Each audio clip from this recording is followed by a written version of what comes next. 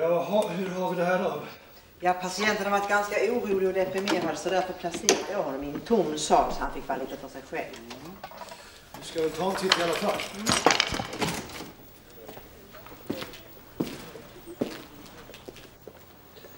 God afton, ingenjör Åkerblom.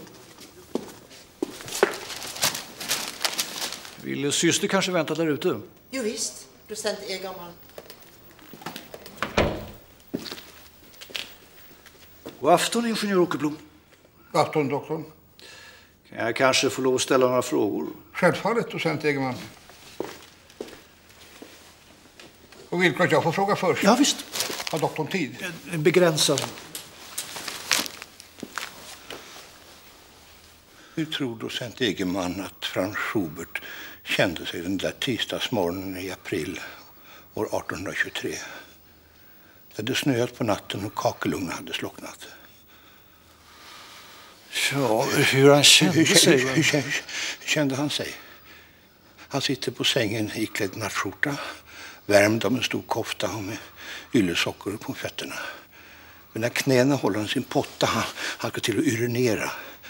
Även detta bestyr bereder honom en liten smärta har han dragit tillbaka förhuden och vidgat själva öppningen. Då upptäcker han såret. Det sitter under kanten av ollonet. Ett sår och en stram förhårdnad där tidigare bara varit en mörk rodnad, ful och oöm. I detta ögonblick inser Jean Schubert, klockan är precis sex, kyrkklockorna pinglar i den närbelägna treenighetskyrkan. I detta ögonblick inser Jean Schubert att han har drabbats av syfilis. Och nu vill jag veta vad docent Egerman tror att han känner. Vad, vad känner Frans Schubert den aprilmorgon där han sitter på sängkanten och ser på sin sjuka pjutt? Ja, ingenjör Åkerblom, det är inte så lätt att Kvällen gissa. innan varit på supé hos sin bror Ferdinand. Festen var ljus och munter. Begåvade vackra damer, infallsrika, charmerande herrar. Man hade lekt lekar, spelat, sjungit, glädje, dans, musik. Och så hem på natten i tysta, fuktiga snöfallet. Glädje, ingen fylla. Men nu alltså syfilis. Vad tror docent Egerman att Frans Schubert känner där han sitter? Jag tror att han, eh, han förnimmer ett slags sjunkande. Sjunkande. Sjunkande. Det. Och varför tror docent att han känner ett sjunkande? Nej, jag tänker på hur jag själv... Det är ett nedsjunkande i fasa. Kvävning innesluten. Inga toner till hjälp. Inga toner, nej. Ja, ja. Värre än värst. Docent Egerman, jag ska ställa några frågor. Ja, visst, ja. Jo, anser ingenjör Åkerblom själv att ni är sjuk? Med nervklen, som det heter i er journal. Dessutom manier, visioner, utbrott, tankeoreda, förvirringstillstånd, nedstämdhet, oförklarlig upprymdhet, självanklagelser, sexuella fantasier, självmordsidéer, självöverskattning, hypokondri, infantila, fekala aktiviteter. Ja, men framför allt naturligtvis våldet. Var det allt? Ja, skulle väl vara allt, ja. Ingenjör Åkerblom har sagt någon gång att er egentliga profession är uppfinnarens kall och vision. Just precis. Jag har sedan 29 år bestormat Kungliga Patentverket med ansökningar. Jag har bara två gånger i nåder beviljat mig ett patent. Er fästmö, fröken Pauline Thibault, vill besöka er. Nej, nej, nej. Hon säger att ingenjör Åkerblom har förbjudit henne. Nej, nej, nej, nej, nej, nej, nej, nej. Ska vi inte tala om Thibault? Nej, helt inte. Vågar jag fråga varför? Därför att det gör ont, herr doktor! Så hon får alltså inte besöka er? Docent Egerman, genast ni kom in här för en liten stund sedan påpekade ni var jäktad. Jag vill inte uppehålla er. Alltså, på återseende ingenjör. Docent Egerman, jag tyckte om det där ni tänkte om Schubert. Jag menar sjunkandet.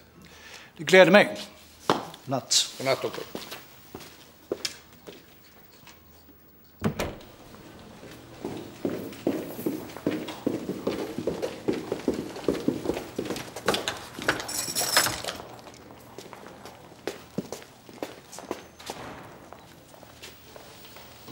Osvald Fågler. Fyller tjänst som man sa förr i världen. Åkerblom. Osvald Fågler var alltså namnet. Pensionerad professor i exegetik vid Statens universitet. Och, ja, det skäms jag inte för att nämna. Rentier. Tack min duva, var vänlig och ställ väskan där vid min säng så klarar jag upppackningen själv. Se här, en tolvskilling för hennes besvär.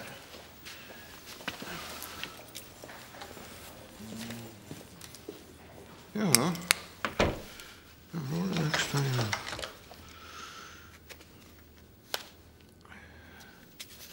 Anlände hospitalet klockan fem och tretton. Ursäkta, Ja, visst. jag mår faktiskt sämre än jag ser ut. Ja, ja, ja, ja, ja, ja, ja. Vår frihet är begränsad, det medges, och friheten är gudarnas gåva till människobarnen. Låt oss inte vara knussliga utan istället jämföra betydelsen av den yttre friheten så att säga i sig med den inre friheten, den subjektiva, av självet oavbrutet koncipierade, av självet beklagligtvis också oavbrutet destruerade friheten. Det som vi alltså benämner den inre friheten eftersom den består av ett så stort antal komponenter att den inte låter sig kodifieras, analyseras, klassifieras. Ja, ja, vi sätter oss.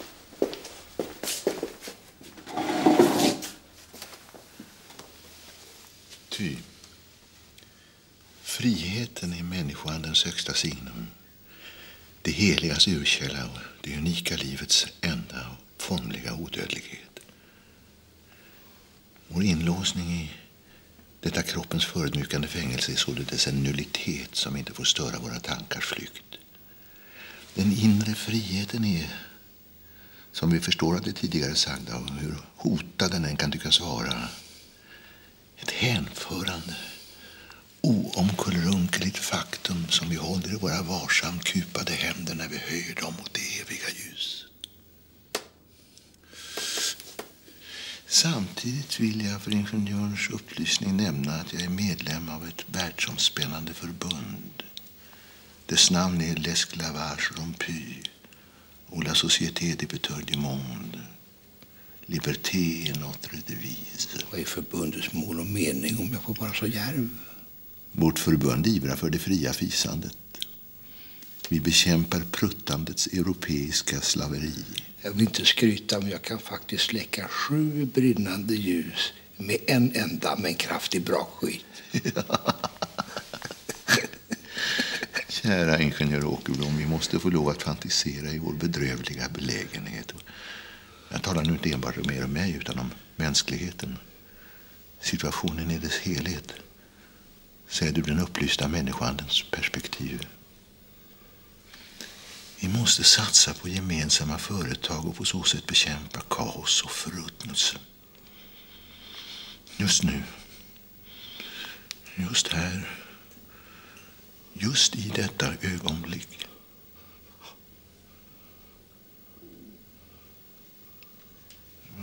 Vad skulle jag säga? Gemensamma företag. Gemensamma företag. Ja. Så kan det bli här i världen.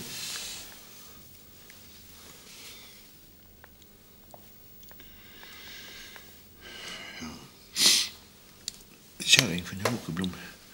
Vilken slags ohälsa tvingar er att dväljas i dessa synnerligen deprimerande lokaliteter? Mordisk vrede. Förlåt? Ja, så när dödat någon, slagit ihjäl. Minsann. Vid kramp i käkmuskulaturen tog det sönder sex kindtänder. Personen som försökte hjälpa mig i denna min fasansfulla, hur ska jag säga, förlägenhet belönas med ett mördande slag av ett storsben så att pannhuden sprack, blod forsade. Som tur var sprängdes inte skallbenet, det blev bara en obetydlig spricka. Jag måste säga högst intressant. Nej, nej, nej, jag är inte det minsta intressant. Schubert, däremot intressant.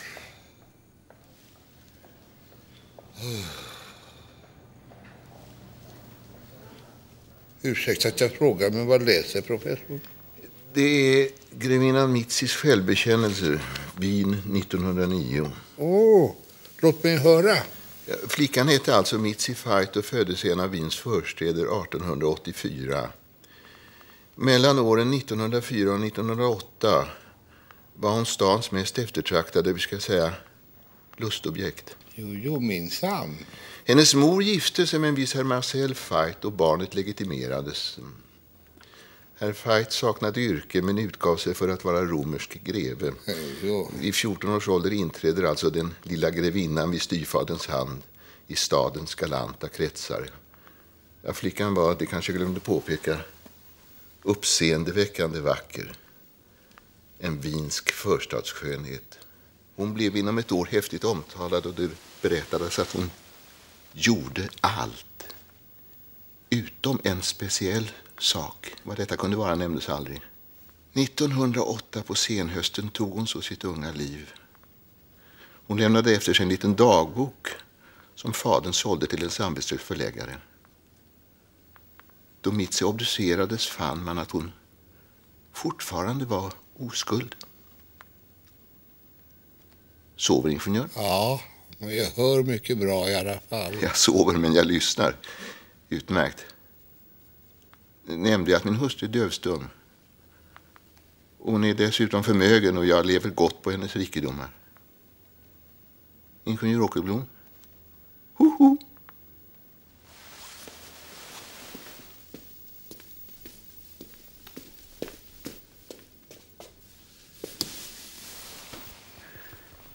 Det händer att jag möter Swedenborg som berättar om änglarnas ofattbara skönhet. De speglar Guds anlete. Och Swedenborg ser på mig med sina leende ljusgrå ögon och säger Tro mig, professor Fågler, jag har sett änglarna. Och då får jag mod att ta mig in i gåtfulla världar, världar utanför andra världar. Och mitt universum speglar evigheten. Och medan jag färdas växer insikten att jag, Osvald Fågler, när som helst får skåda den evige så som i en spegel. Och hur ser han ut? Så här säger Swedenborg. Vi läser att människan skapades i Guds avbild att vara honom lik. Med Guds avbild menas gudomlig vishet. Och med likhet avses den gudomliga kärleken. Ja, ja, ja, men hur ser han ut? Han är min avbild. Eller också är jag hans avbild. Är det möjligen så att professorn är Gud? Det skulle inte förvåna mig.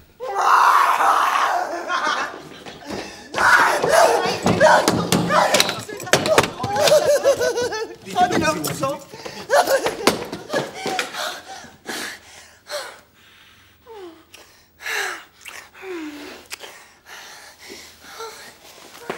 Ja, Ingenjör Åkerblom, professorskan Skampågler. Angenämt. Emma, vänta lite nu. Så här säger min hustru. Min make i mitt liv. Jag vägrar, vägrar, vägrar. Att min kärlek förvaras på hospital. Han påstår att han är med en black om foten. Det är osant. I det brev som Tegelman håller i sin vänstra hand har jag bönfallit docenten att ge min make fri. Stämmer. Ni är tills vidare utskriven, professor Bogler. Farväl och på återseende, ingenjör Åkerblom. Tack, tack, tack docenten. Herregud, vad jag är trött. Nej, jag är ingenjör Åkerblom. Jag är så trött.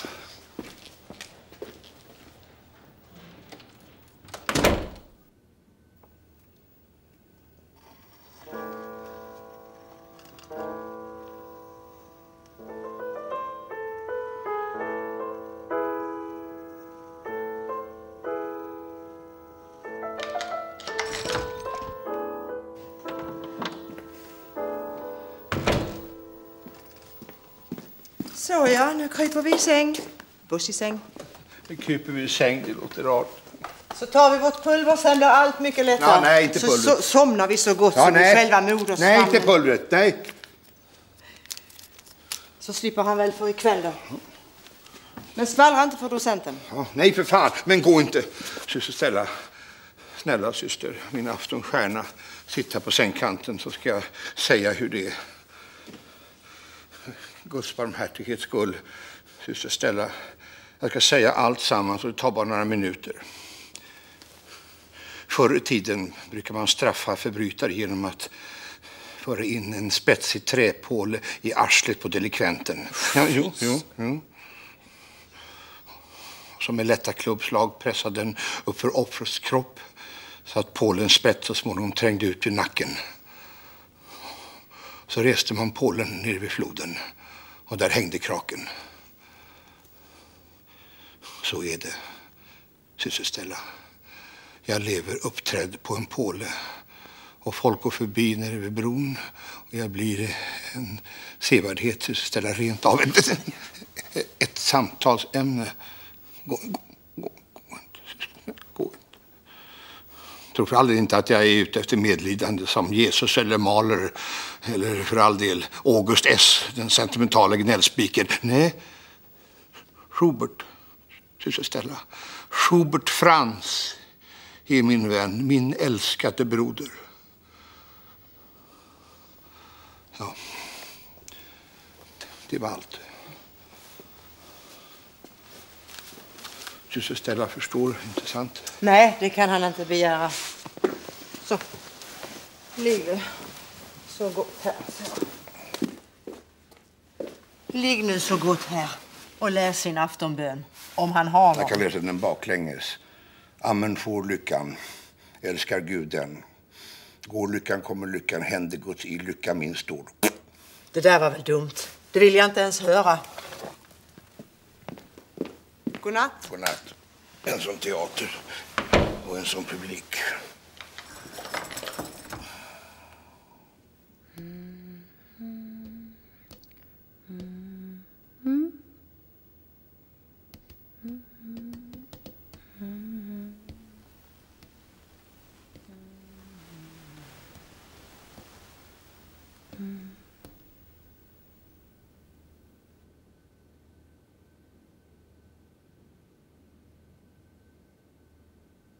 Har han varit här länge? En längre tid. En längre tid. Är det så att jag inte är riktigt vaken? Nix. Jox.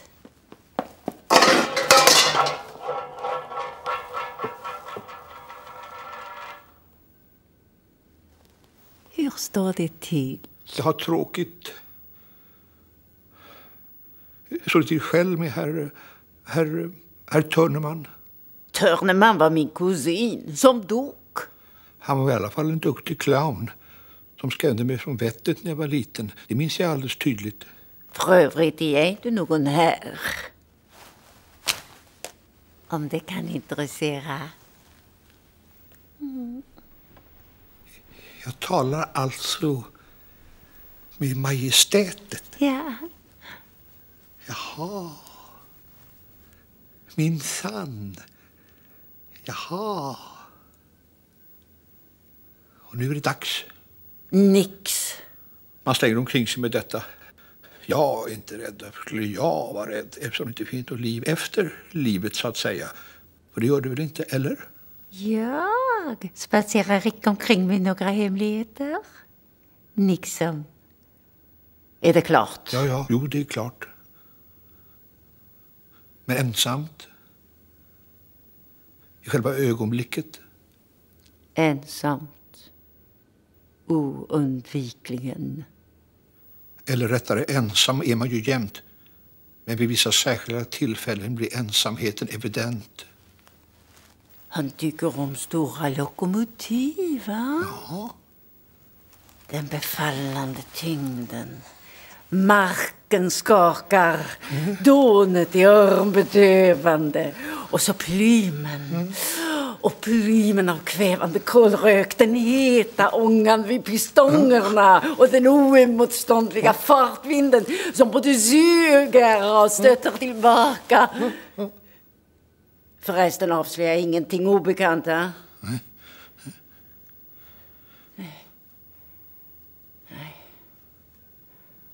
Om han tänker efter har han alltid vetat. Jag brukar inbilla mig det.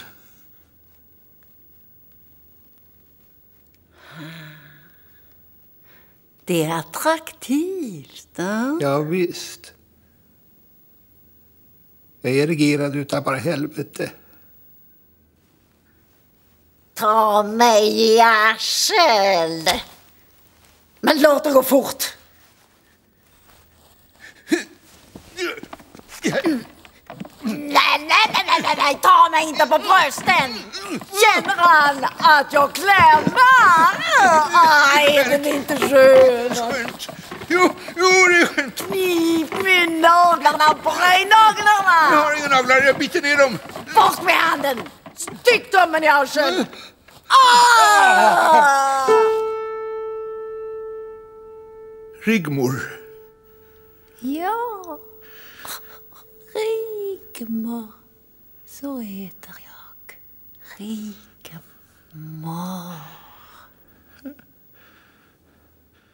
När jag var liten, just så här mot morgonsidan, brukade majestätet dansa. Så?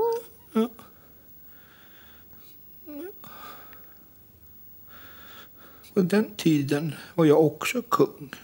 Nu ingenjör Agarblå. Jag vet inte. Vet inte.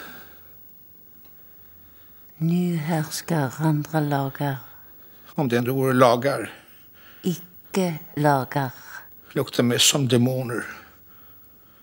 Fast demoner kan väl också vara plågade.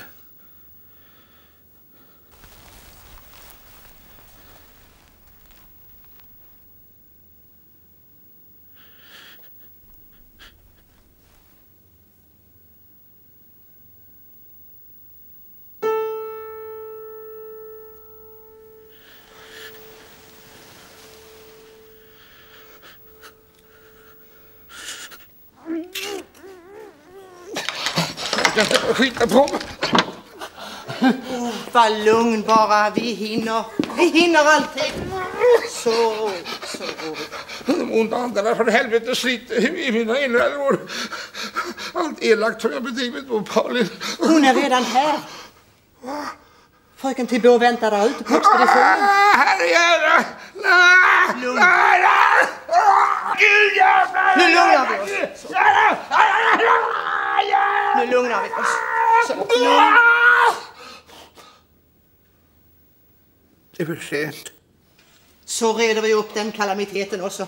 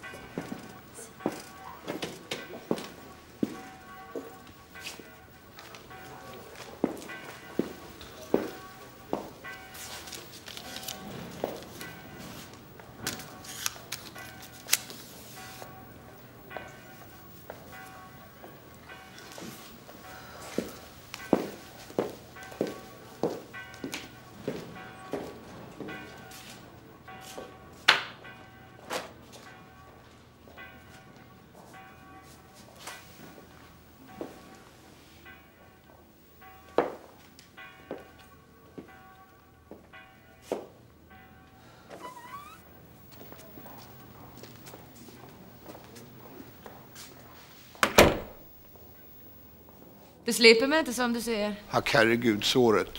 Fåpar inte Åkerblom. Det är sytt och desinficera. Du får ett R. Ja. Ett R blir det nog. Skyll dig själv. Jag har inte kommit hit för att dividera om bagateller. Du blev vansinnig och klippte till. Vad ska man säga om det? Du bad om stryk. Och du bad om sanningen. Och nu har du kommit hit för att inhösta min förkrosselse och min bön om förlåtelse. Men det säger jag dig Paulina, att där kammar du noll. Du tror väl inte jag blivit lika tokig som du, älskling? Jag vet inte vad du har här att göra, utom möjligen för att fira en billig triumf i anblicken av din blivande makes totala förödmjukelse. Min förödmjukelse, kära Karl Åkerblom, behöver jag sannerligen inte komma hit för att beskåda. Det var daglig och bitter spis under hela vår förlovningstid. Så heter det inte då. Jag inbillade mig att jag hade en uppgift, att du insåg att jag ville hjälpa dig. Det kommer den där biten om min styvmor och hennes svartsjuka. Och nu vet jag inte ens vad du talar om. Och det skulle jag ha varit svartsjuk på din styvmor. sa jag inte. Jag bryr mig inte om vad du sa eller inte sa. Jag har nämligen ett förslag. Förslag, vad då förslag? Jag har alltså talat med docent Egerman. Han förklarade att han måste hålla dig inspärrad fram till nyår, annars råkar du i elände med polisen. Och då förvandlas ditt straff för att du försökt slå ihjäl mig till minst sex års straffarbete. Vad säger du om det? Men den första januari kan Egerman skriva ut dig på försök som det heter, förutsatt att jag tar hand om dig. På så sätt är du i mina händer jag ska nog fasen se till att hålla pli på dig, min älskade gosse. Om du svärar så där Pauline, det klär dig inte. Jag är examinerad sjukgymnast, fullständigt oberoende och ingen ska tala om för mig vilka ord jag till äventyrs har rätt att använda. Hör du vad jag säger? Ja. Är det fullkomligt klart? Ja! Då fortsätter jag. Det har kommit svar från Kungliga Patentverket.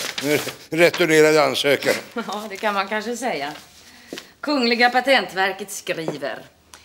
Er ansökan kan inte beviljas eftersom er så kallade cinematokamera konstruerades redan 1886 av R.W. Paul som snabbt insåg att hans invention, teatrografen, skulle sakna praktisk betydelse.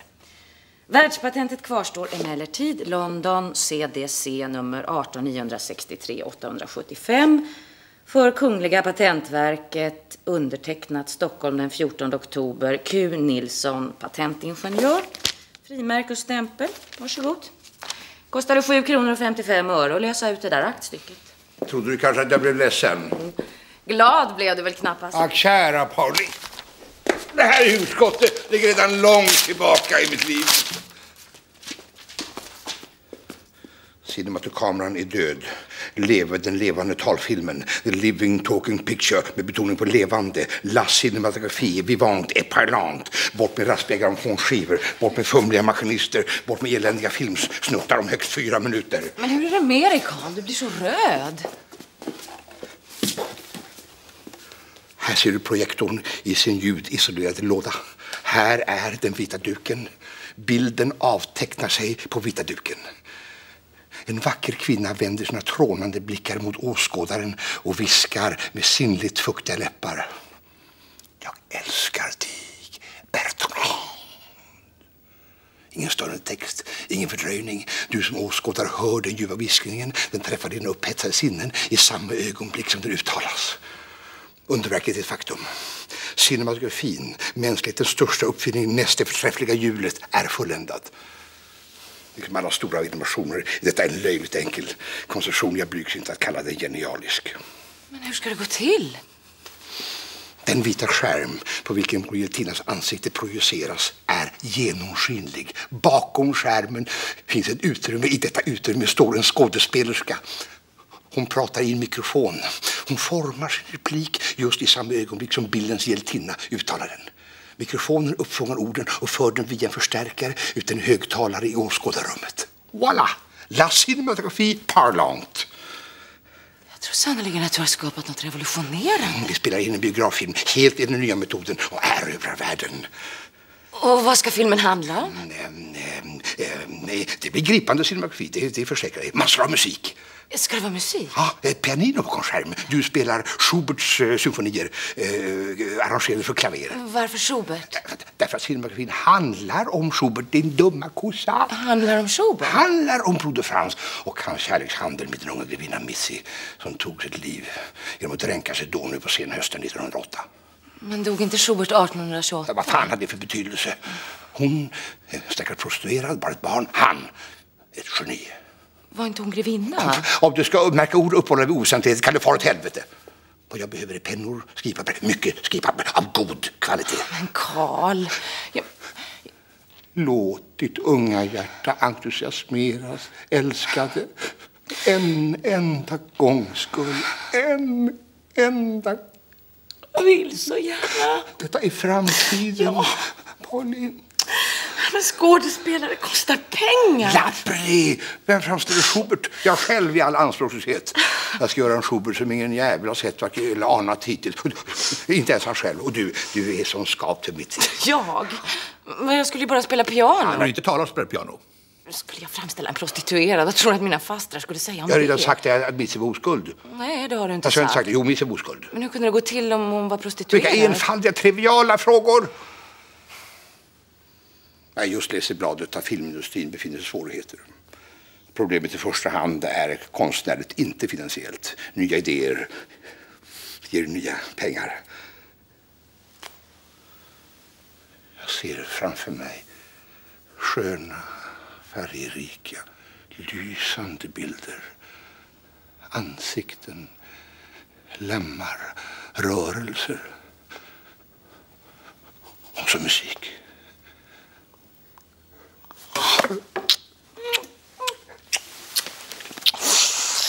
Och ibland undrar jag varför jag älskar dig som jag älskar dig, Karl Åkerblom.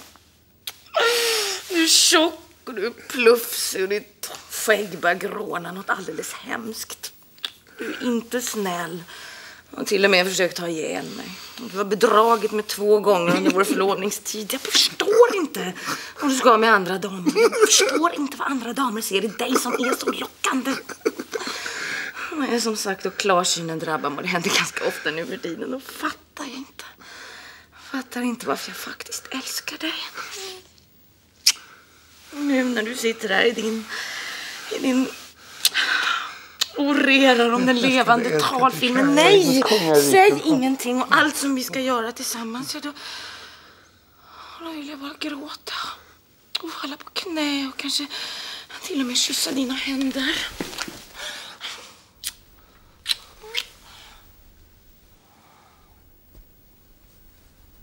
Kom i min famn, Åkerblom.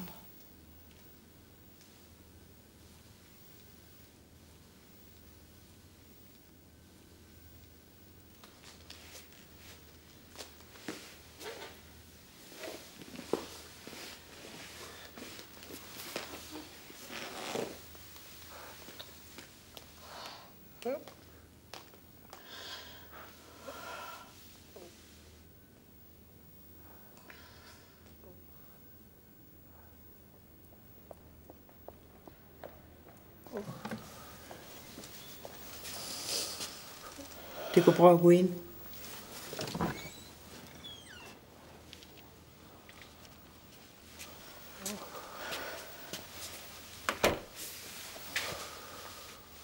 Broder Åkerblom.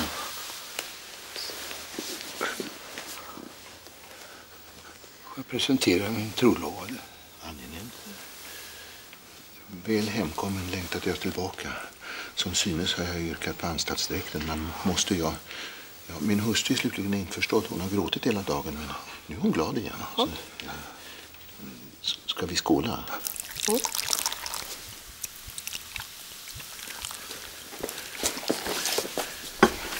Vad sägs om ett gemensamt projekt mot kaos och upplösning? Ursäkta att jag frågar, men vad säger er hustru? Hon säger gång på gång. Vi älskar oss. Vi älskar oss.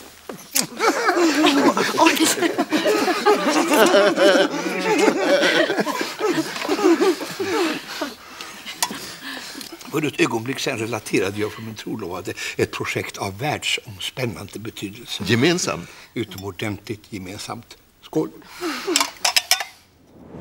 Aktiebolaget ÅV Film har äran presentera den första och absolut enda levande talfilmen i världshistorien. Glädje, flickans glädje.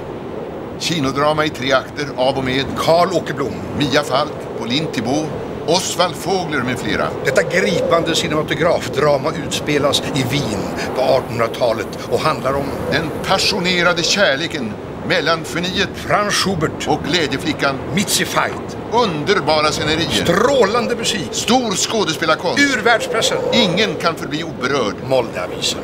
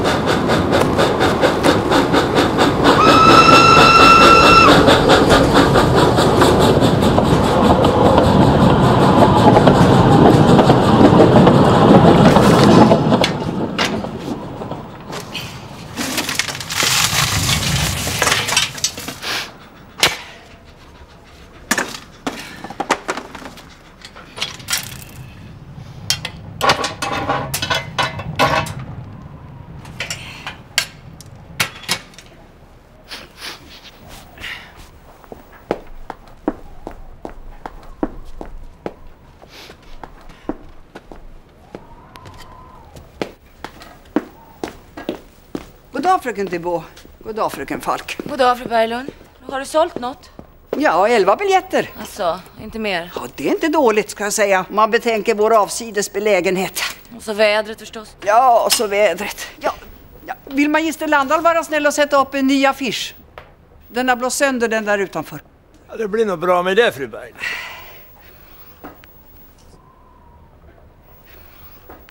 Ska ju kallna ordentligt fram på kvällen och bli nordanstorm och värre snö. Så folk får svårt att ta sig hit. Har inte Åkerblom synts till?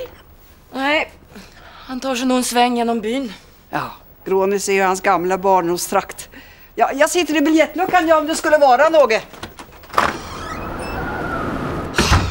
Stenbjörka, Storforsen, Videvik, Mörktjärn och så Grånäs då. Ja, triumftåg har det väl inte varit? Har du inte haft mat och husrum? Har du inte fått dina 15 kronor i veckan hur punktligt som helst? Jag är faktiskt trött. Ja, men du kan dra åt helvete! Säg bara ifrån hur du vill ha det, men gnäll inte! Jag har sett Glädjefickans glädje 16 gånger. Det är mitt livs stora konstupplevelse. Ja, jämte åsynen av bataverernas sammansvärjning nere på Nationalmuseum i Stockholm. Fröken Falk, om ni tillåter, men ni kommer minnas den här tiden, tro mig. Ni kommer att minnas och vara tacksam.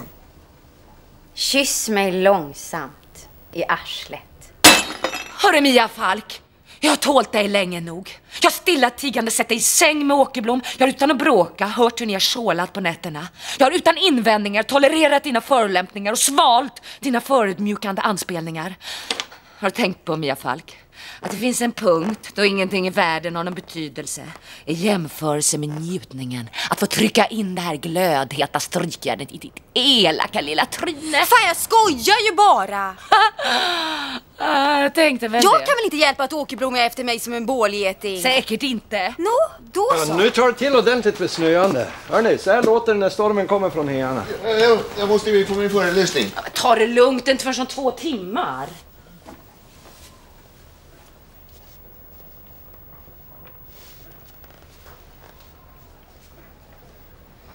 Petrus får väl upp biografduken någon gång? Jo, jag väntar bara på att Åkerblom ska hjälpa. Han kan väl veva cinematografen? Jo, ja, jag vet inte. Jo, jag tror jag kan. Det... Men kan han ladda? Ja, nja, jag vet. Och det behöver han förresten inte för jag kommer ut och hjälper honom i mellanakterna. Det blir alltså två mellanakter och då ska han tända ljuset i lokalen och, och sälja gotter. Under tiden så laddar jag om. Hur är det med hostan? Ingen fara för ärgrånet. Alla förkylda. Ungarna snorar, föräldrarna harsklar och de gamla de har feber. Ja, det är bara att finna sig och inrätta sig som prästen sa. Hur kan magistern... Vara här idag. Shh. Jag skolkar. Tror fröken jag skulle försaka en upplevelse för plikten? Upplevelsen är den sökande människans enda verkliga plikt. Jo, kanske det. Jag måste stryka färdigt. Ja, och jag, jag måste sätta upp en ny affisch utanför entrén. Den gamla har blåst ner. Jag har tandvärk. Jag tror jag skiter i det här. Jag tar tåget till Falun. Godståget stannar i Grånäs klockan tre så jag hinner om jag ger mig av genast.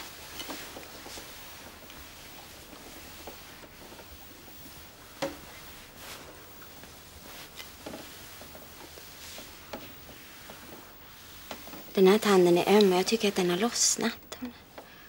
Och doktorn sa att han måste skära upp tandköttet och rensa men just då hade jag inte någon värk så jag tackar nej. Har Pauline förlorat talförmågan?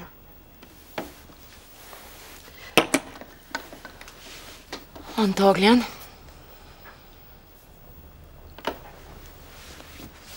Då ger jag mig väl av då. Ingen avskedskyss.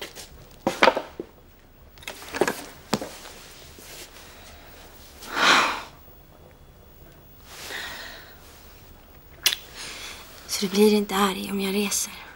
Va? Nej, Mia, jag blir inte arg. Jag är bara så över allt förstånd ledsen och trött. Gå nu innan någon ser att vi gör av. Du borde nog söka en tandläkare så fort som möjligt. Det luktar lite konstigt. Det var ju för din skull som jag följde med på det här äventyret. Fan också. Pengarna. Kan vi inte sticka båda två och lämna de här jävla gubbarna och hela skiten? Ja. Gå genast.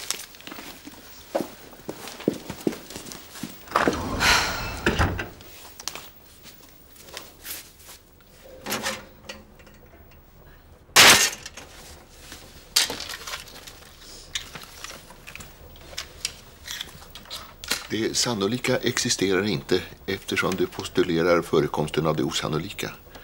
Därför kan heller inte det sannolika accepteras eftersom det förutsätter detta som vi benämner det osannolika. Just det, ja.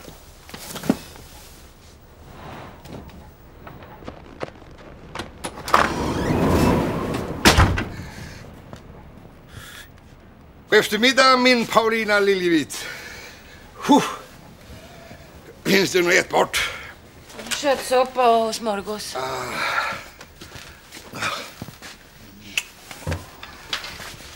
Hur är det med Osvald? Jag vet inte. Duktig bakfylla. Sen frun reste så har det bara gått ut för. Tvärtom nu när han får dricka som han vill så har han blivit riktigt sammanhängande. Han är i alla fall 78. Vad har du gjort av Mia? Jag vet inte noga. Ja, vad, var det där för tonfall? Du verkar i varje fall vara på ett avundsvärt humör. Ja, Har du ja. hållit hus hela dagen? Grånäs är ju mitt barndomsland. Det visste du kanske. Pappa byggde ett stort sommarhus några kilometer härifrån. Halvvägs upp i berget. Jag travade runt. Jag travade omkring. Jag gick skogsvägen upp till kåken. Undrade om kanske någon, någon bodde där. Det fanns inga fönsterluckor för fönstren. Han hade varit mörkt och tillbommat. Fotspår i snön. Och hjulspår. Nästan lite spökaktigt. Älven flöt där nere, djupt där nere. Svart och blank. Och snön föll och föll. Och ibland blåste det. Och dubbelbjörken svängde sina blanka grenar. Fru Berglund var inom och sa att hon hade sålt 11 biljetter. Landahl! Landahl! Ja, här är ingenjören. Du måste placera projektorn Ja, precis vad jag tänkte föreslå. hyggligt av magistern och hjälpa till nu när arbetsstyrkan är decimerad. Var är Mia någonstans? Henne får du väl hålla reda på själv. Vi placerar projektorn uppe på läktaren. Och så drar vi den elektriska ledningen ner till rampen. Och så sätter vi starkare proppar i propptavlan. Högtalarna är på plats. Jag ska bara ansluta mikrofonen här. Ja, måste säkra upp. Annars ryker propparna tvärt som i Besna och Lennheden. Då vi slår på bågljuset. Ja, men in... Har magistern två, två tvåöringar? Jo, det har jag väl, men han ska väl... Ja, den... Se det. Jo, ja. Tar jag så. Då tar vi den där. Där. Då tar vi den.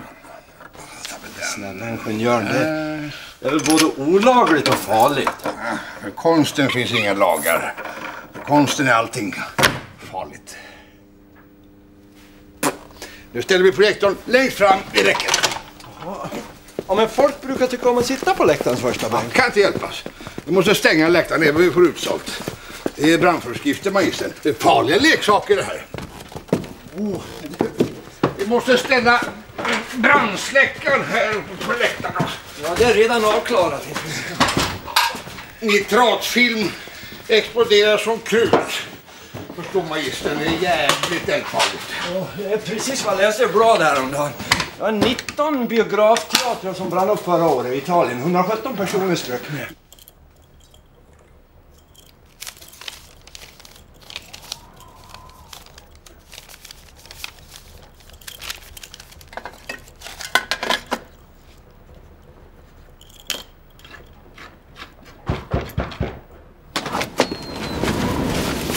Jansson väntar med bilen.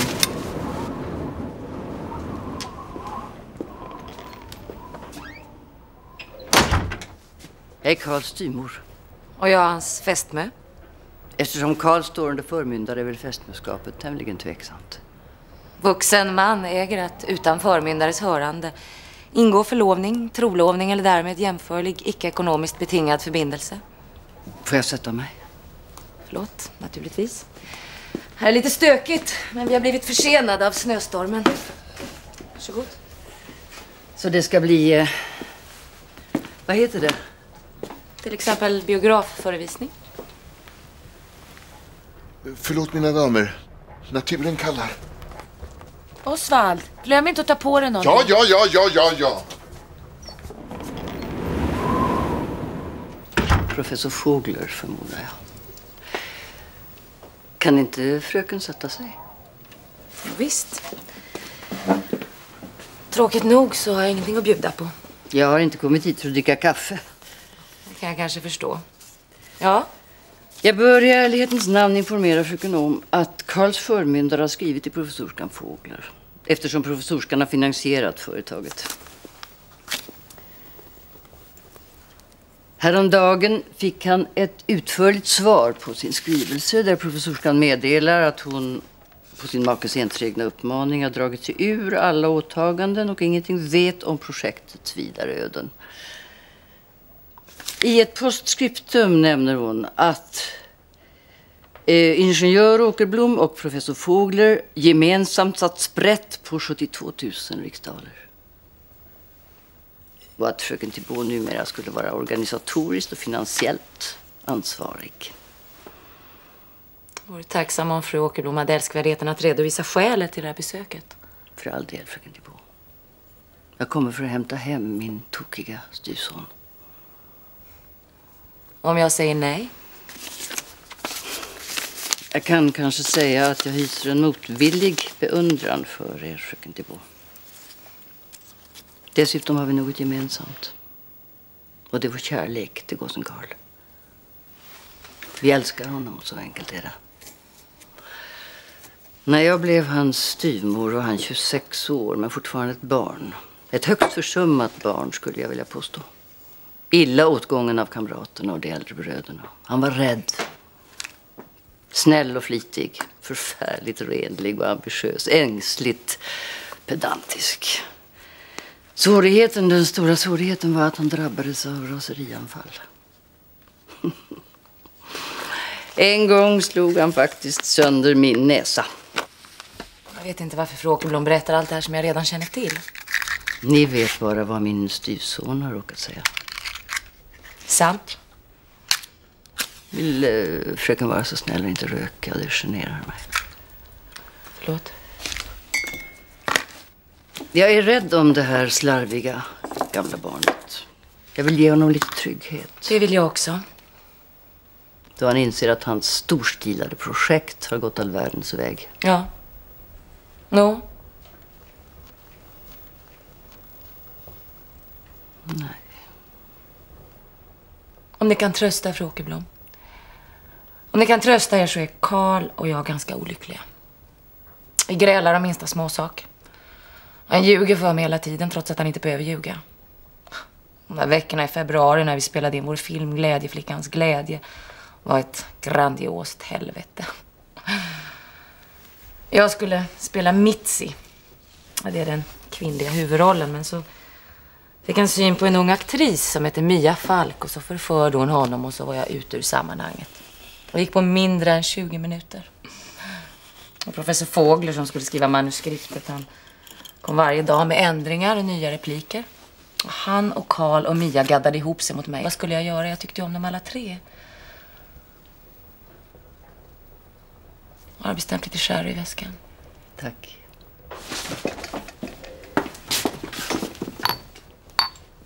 Och pengarna forsade.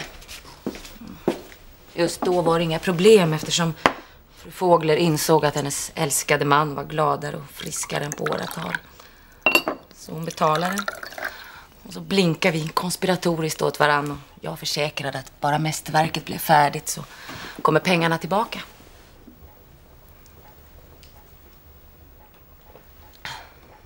Men så betackades rena filmbolaget efter andra. Och där satt vi med Glädjeflickans glädje. Den första och hittills absolut enda levande talfilmen i världshistorien. Och Då sa vi till varandra att nu ger vi oss ut på turné. Vi hyr lokaliteter undan för undan och en dag ska vi bli synliga. Och då kommer framgången.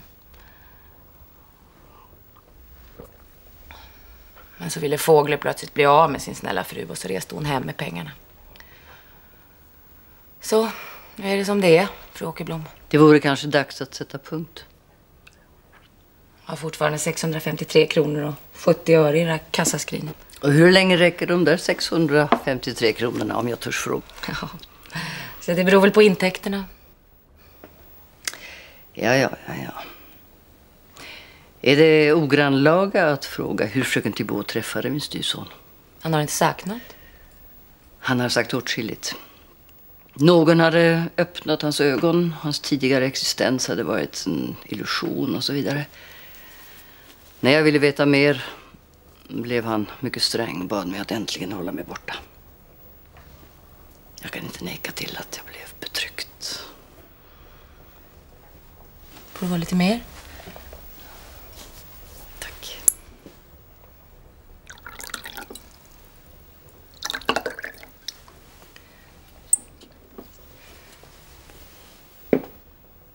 Jag träffade honom en augustikväll för två år sedan.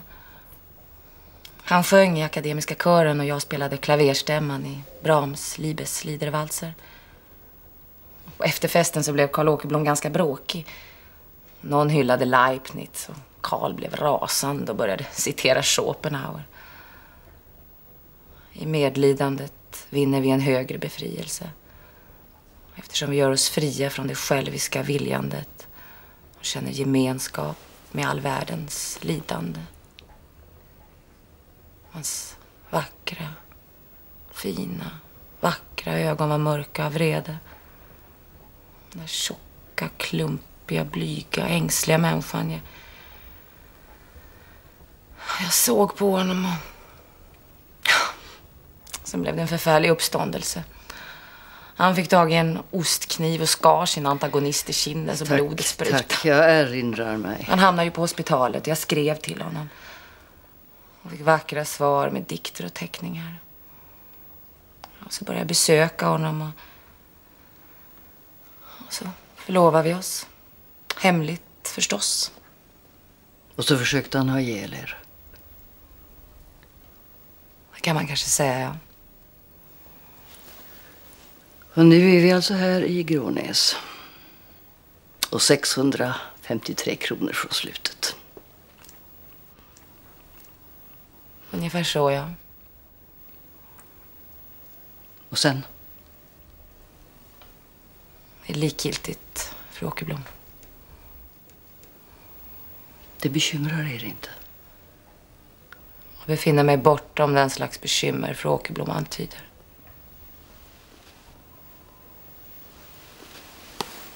Så remarkabelt. Skulle det vara en komplimang?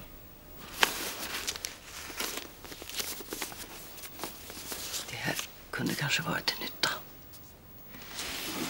Nej, tack. Inte det? Jag förstår. Och nu vill jag att fru Åkerblom går. Jaså? Ja, förlåt min bristande hövlighet, men jag vill avstyra ett sammanträffande. Naturligtvis. Farväl, fröken Dybo. Farväl, fru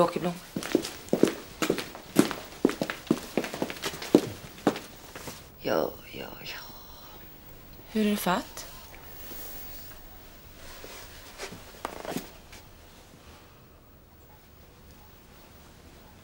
Min man dog för sex år sedan. Han var sjuk i flera år, men det blev tomt allra närmast, om jag får säga så. Sen gifte sig min dotter. Det var en olycka. Allting var... är bedrövligt. Så dog sonen? Han omkom i en flygolycka. Han var meteorolog. Studerade åskformationer. Ja. Sen blev jag så där trött. Var det Karls sjukdom? Inte första gången och inte andra gången. Men det där som hände med er, fröken Thibault. Jag kände ju till hans svartsjuka och fick skylla mig själv. Så här är det med Karl och hans styvmor. Han vilar på mitt hjärta. Och jag varken vill eller kan välta bort honom. När jag kom i huset var jag ungefär lika gammal som ni. Jag inte på. Redan första dagen kröp han ihop ovanför mitt hjärta. Precis här. Och där blev han liggande. Ibland blev det ganska sårigt. Och nu har jag tagit över ansvaret. Fröken Dubois tror kanske att jag är svartsjuk. Är det så förfärande otänkbart? Det är kanske lite naivt. Men jag älskar honom. En livskatastrof låter sig inte bevekas, fröken Dubois. En känsla är en person där. Ett sjukhus, medikamenter, löften, döden. Vänskapsrelationer, omsorger, disciplin. Kärlek, om ni så vill. Allt det där är tillfälligheter. Tunna trådar. Jag är bara trött. Trött av att vänta. Fru Åkerblom besöker inte kvällens föreställning. Inte jag, men min dotter Karin. Karls halvsyster. Som just är på besök med sina små pojkar. Karl och Karin är mycket fästade vid varandra. Adjö, fröken Dubois.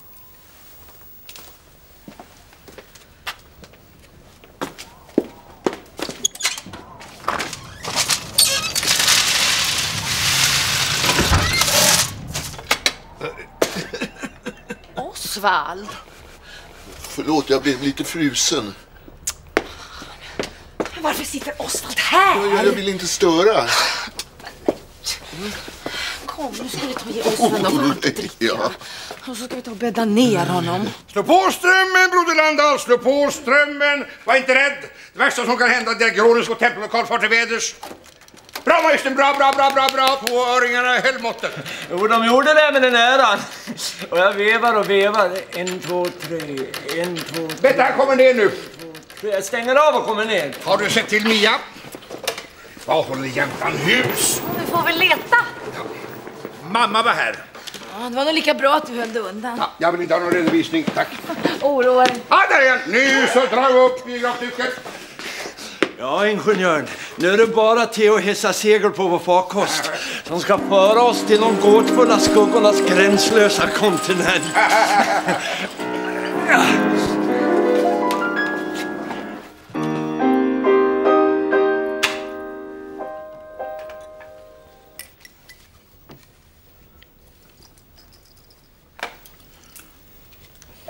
Nu får du verkligen ta reda på Mia. Hon har rest. Har hon rest? Hon har rest, ja. Jaså? Jaså minsann. Mm. Ja, ja, det är ingen riksolycka. Tar du det så tranquillt. Ja, henne kan vi faktiskt vara utan. Dessutom sparar vi pengar. Hon var dyr i drift, det lilla luddret. Hur ska vi göra då? Du övertar rollen som mitt sim. Jag kan ju inte replikerna. Försök inte, det kan du säkert. Förresten kan du läsa till. I mörkret, här på scenen. Ja, men hon kan för fan hålla en ficklampa. Och vem ska hålla ficklampan? Om du ska vara Schubert och jag ska vara Mitzi. Och Osvald ska tala de andra rollerna och Petrus ska veva projektet. Det var då ett jävla tjat! Det är väl dags att släppa in publiken. Då släpper vi in publiken, magister Landahl. Och så illuminerar vi lokalen. Ska ske, kapten!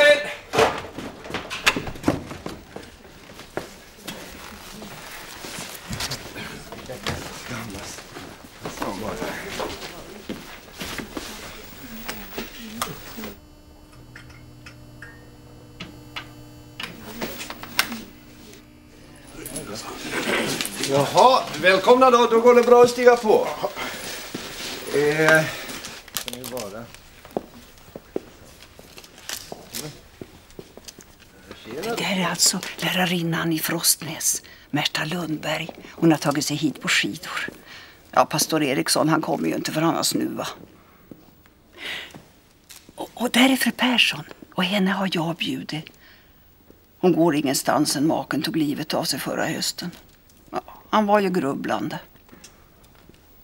Och Algot Frövik, han har så ont i sina leder. Han är nästan invalidiserad. Och det är ju särskilt plågsamt nu när, när kylan sätter in. Men är det frågan om kultur så kan ingenting hindra honom från att komma. Och landsfiskal Larsson har sannerligen tagit sig hit. Ja, det hör inte till vanligheterna. Men han är ju inte ute i tjänsteärende utan han har intimt med Hanna. Ja, det är hemligt som katten. Men alla vet. Ja, och så är det Fredrik Blom. Han var kantor i Frostnäs men söp sig sönder och samman.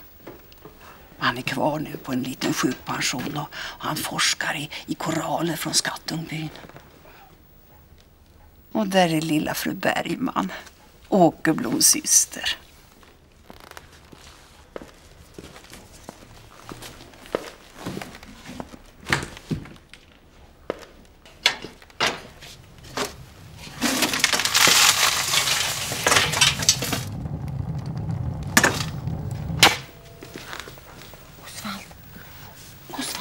Oj, är, är, det, är det dags? Det är dags! Publiken har redan kommit. Vi ska börja vilket ögonblick som helst. Jag har glömt vad jag ska säga. Du går in framför dörren och önskar välkommen. Och så säger du att Grånäs, kom ihåg Grånäs, i detta ögonblick är i centrum för världscinematografins konstnärliga expansion. Ja, ja, du behöver inte tjata. Jag vet min roll. Ja, ja men då så. Hur känns det? Jag är väl lite yr. Jag, jag vill påstå att det snurrar riktigt duktigt. Klarar du det nu? Ja, ja, ja.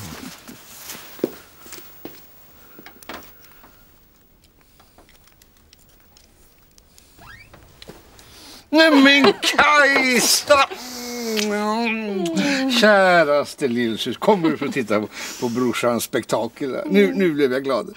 Småpojkarna har varit krassliga hela hösten så doktorn anbefallde luftombyte. Vi åkte upp hit för sex veckor sedan med mamsen. Vi har det så härligt. Du måste komma och hälsa på. Mm, jag är inte ensam. Var har du din Pauline? Här är hans Pauline. God afton. Välkommen. Tack. Åh, vilken vacker klänning. Ja, men den är inte precis 1800-tal. Du kan väl komma in efteråt och säga ju, även om du inte tyckte att vår föreställning var något vidare. Ska vi inte börja någon gång? Jag är redan kvart över åtta. Av allt att döma är publiken fulltalig men jag kanske får räcka pastorskallen hjälpande hand ska förskaffa pastorskallen utmärkt plats. Och ingenjören kan väl bara slå gånggången när vi ska börja så jag vet jag ska släcka lyset och veva igång projektorn. Eh, jo.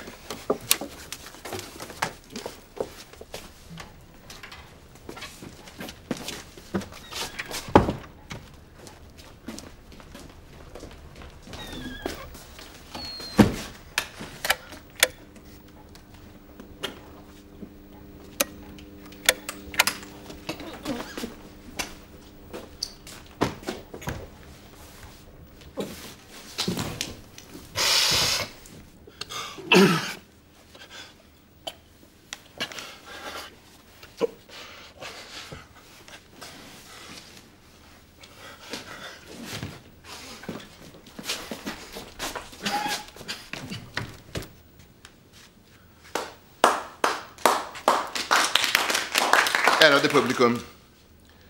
I urtidens hemska grottor samlades urtidens människor för att i ett ofattbart överskott av lust måla gestalter på de fuktiga väggarna eller snida figurer eller hamra fram de märkvärdigaste smycken. Genom mäktiga stormar på oframkomliga stigar i all tänkbar obekvämlighet kom andra människor för att beskåda de målade gestalterna, de utskurna figurerna eller för att hålla den slipade bärnstenen i sina händer. Kan man bli annat än rörd? Jag frågar, men det är en retorisk fråga. Jag kan inte se att någon av de här närvarande personerna framför eller bakom detta solkiga skynke har fattat storheten i aftonens... Ja, vad är det?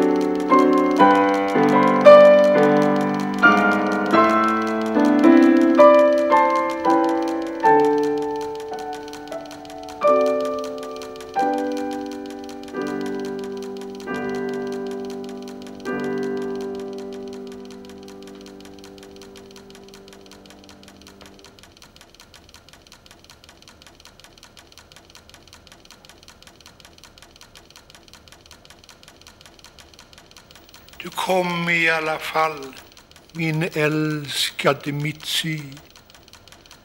Vad som än händer måste du veta att jag älskar dig, min egen Frans. Spela för mig, min käraste. Spela för mig.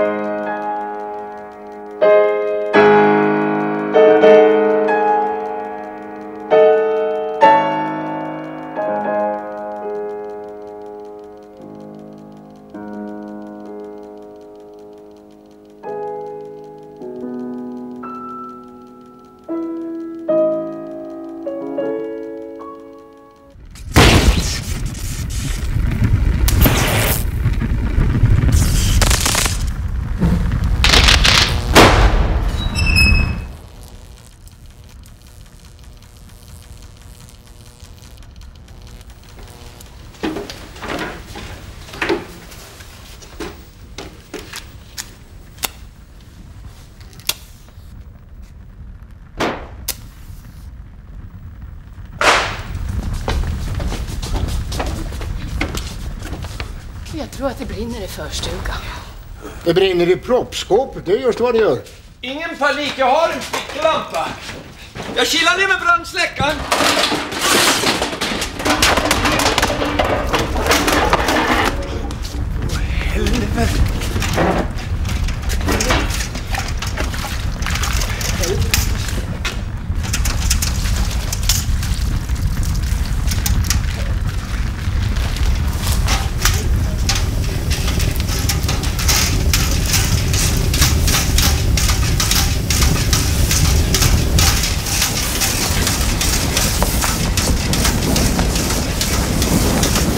Måste de ha försäkrat? Det är Ragnarök, det var det.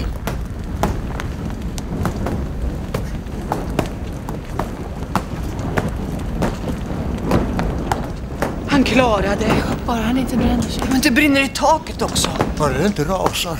Kan det det?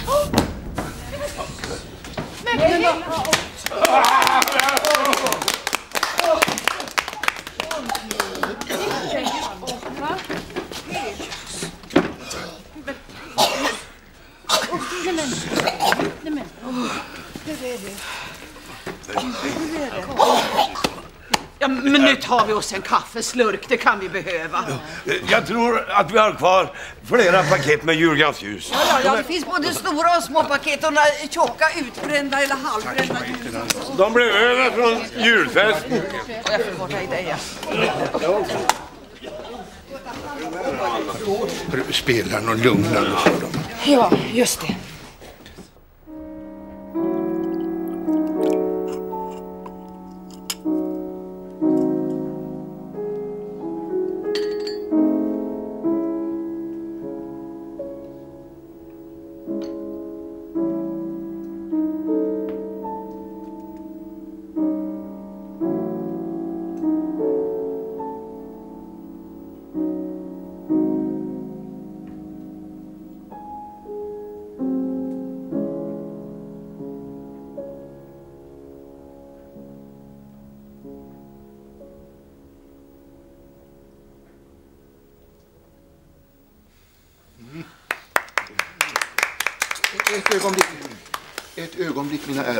Att säga ett ord.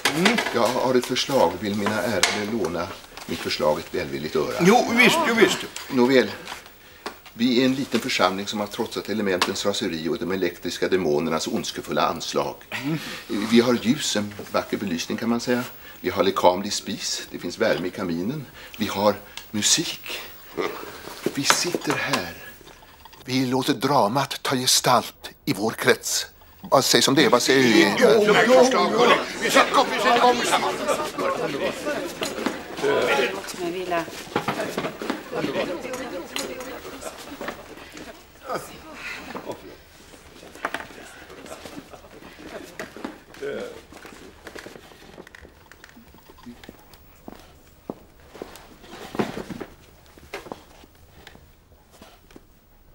Professor Fågler, månen om jag får be.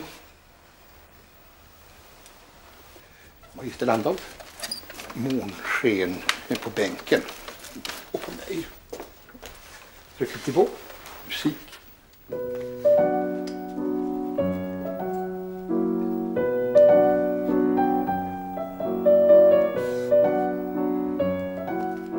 Kära vänner. Vi förflyttar oss alltså till Wien år 1823. Det är en varm, nästan kvav månskenskväll i augusti. Vi befinner oss i ett magnifikt palats, eller rättare sagt i palatsets lummiga park, där statyerna skimrar i skymningen, fontänerna spelar. De franska fönstren står öppna mot skymningen. Festens salar strålar av ljus, dansmusik, skratt och stoj. På en marmorbänk sitter Franz Schubert. Det är alltså jag som är Franz Schubert och eh, jag är djupt försjunken i tankar.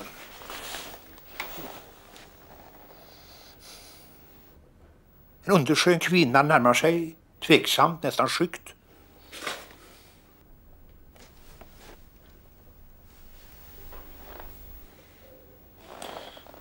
Du kan komma nu, Pauline.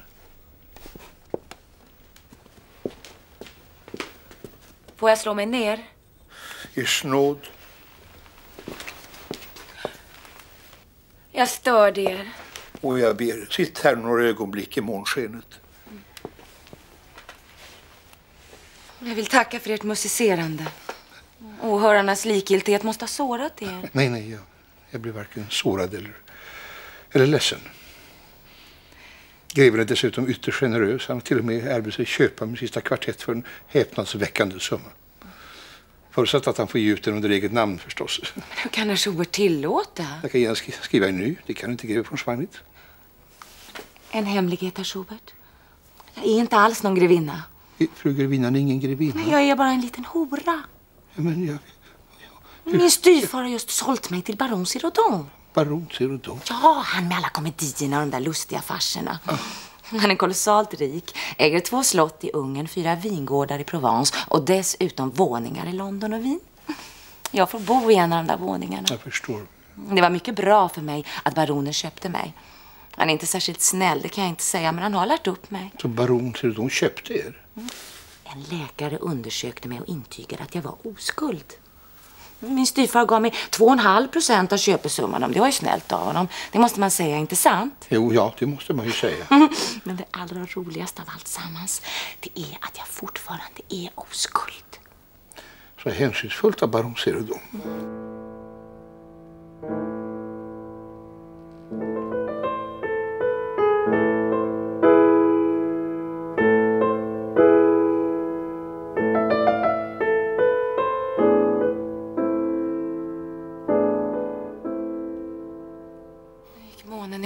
det började blåsa.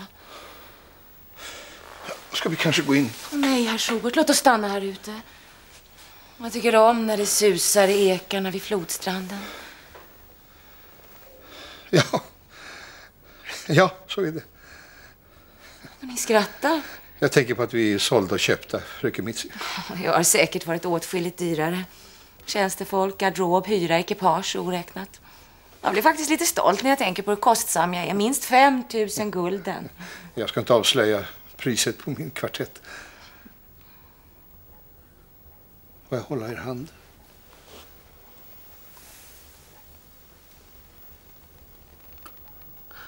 Och ni biter naglar, herr Schubert. Se, där har jag min förflugna duva. Och förlåt, baron Cyrodon. Men det var så varmt i balsalen och jag har nog lite feber. Det här, det här det är... Skulle jag inte känna vår älskade mästare hela Wien sjunga en sång? Angenämt att göra er bekantskap. Synnerligen angenämt. Ett lämpligt sammanträffande.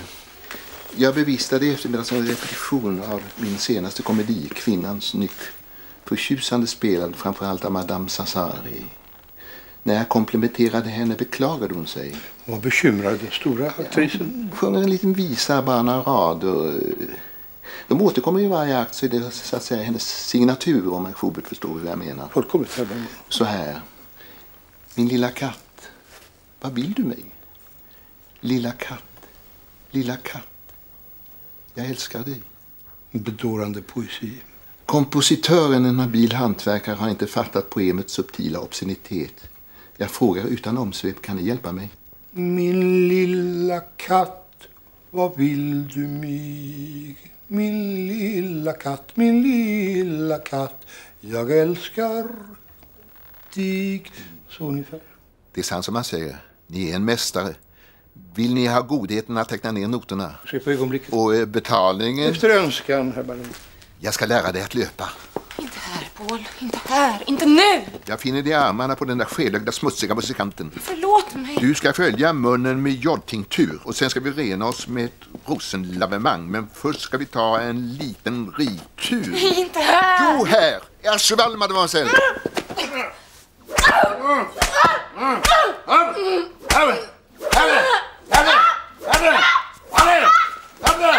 Ursäkta, jag är faktiskt kvar. Jaså? Är ni här? Det såg jag inte. En ersättning för er lilla melodi. Varsågod. Tack, herr baron. Ordna er klädsel, fröken Feit. Vi ska dansa kvällens pavan med kandelabrarna och vi får inte sedera. Räck mig er hand, fröken Feit. Farväl, mästare. Jag kommer utmärkt väl ihåg er förtjusande melodi. Franz Schubert stod utanför de höga fönstren och betraktade den gravitetiska dansen. Han grät av förödmjukelse och plötslig insikt. Nu är första akten slut. Den som vill applådera kan göra det precis här.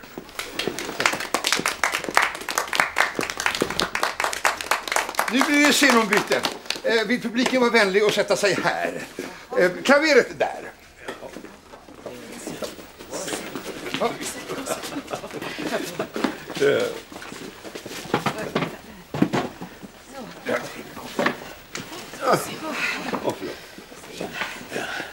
Är det någon som vill ha påtår? Det finns bra med kaffe i termosarna.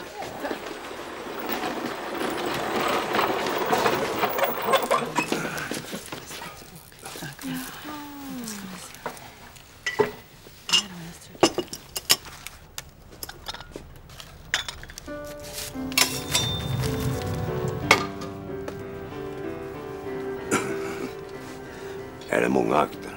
Jag skulle vara hemma elva. Nej då, en akt har vi spelat och de två följande akterna är inte så långa. Ja, jag frågar inte för att det var tråkigt. Tack. Tack. Inget wienerbröd för mig.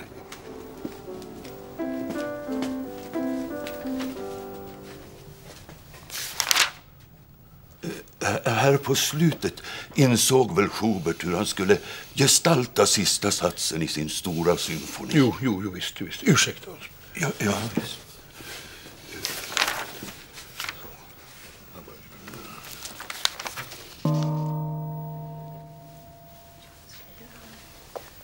Ja, innan teatern fortsätter så skulle jag, om det tillåts mig, vilja läsa upp något som jag för länge sedan fann i en bok. Det är kort sagt berättelsen om en ung man som söker sin väg. Men det är som om själva sökandet hade blivit huvudsaken och, och skymde det han sökte. Ja, nu ska jag läsa upp det författarna skriver.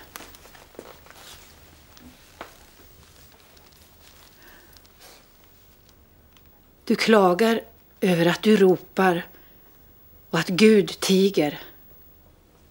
Du säger att du är instängd Och att du är rädd för att det är ett livstidsstraff, trots att ingen har sagt något.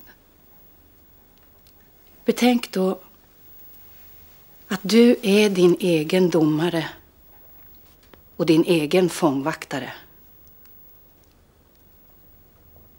Du fånge, stig ut ur ditt fängelse.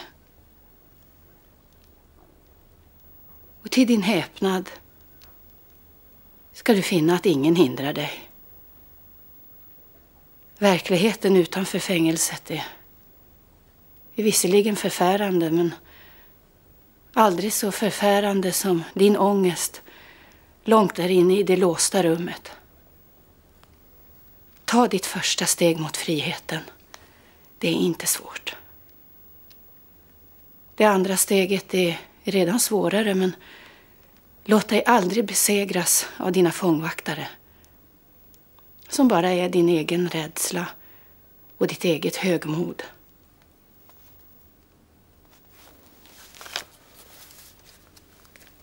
Ja, det var väl alltihop det. Ska Märta inte ha en slurk kaffe? Jo, tack snälla. Nu måste vi börja andra akten. Så här ser det ut. Bakom en skärm klädd med trasigt tyg finner vi Schuberts enkla viloläger. Under det högra takfönstret ser vi en järnspis med några odiskade utensilier av enklaste slag. Ett, ett taffelpiano, några stolar och ett trasigt bord.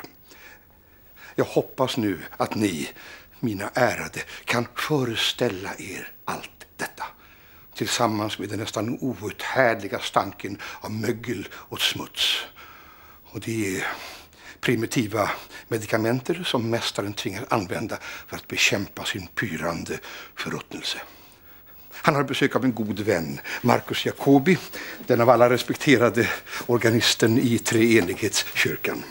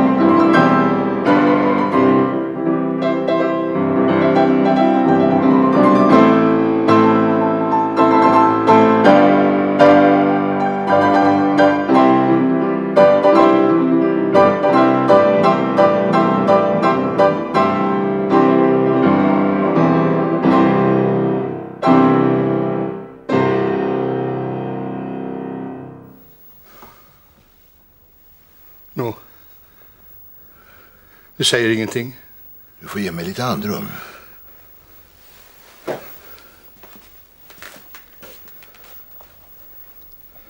Du är min vän Jacobi. Vi har tillsammans spelat igenom hela symfonin. Du är den enda som jag förtrott mig åt. Det är ett stort verk. Ja, stort. Inte sant? Mitt största. Jag menar långt. Långt? Som din vän måste jag vara uppriktig. Du tycker inte om min symfoni? Ansatsen är genialisk. Det tröstar mig inte. Jag är inte här för att trösta. Förlåt. Du berättade att du sökte efter en duglig lärare för att inhämta undervisning i kompositionsteknik. Hur blev det med det? Jag saknade mod och pengar. Det var synd, Schubert. Din symfoni lider av de förfärligaste felaktigheter. På flera ställen förefaller mig violinerna och träblåsarna ospelbara. Och vad är det här för någonting? Det, det här låter ju fullständigt barockt. Det ska låta barockt. Ja, ja, och sista satsen. Den, den verkar ursinnig. Det, det, det är avsikten. Hur många gånger i denna tjatande, tuggande oändlighet upprepar du huvudmotivet? Jag har inte räknat. Du måste förlåta mig min uppriktighet. Jag kan ha fel. Du, du måste räkna med att jag kan ta fel.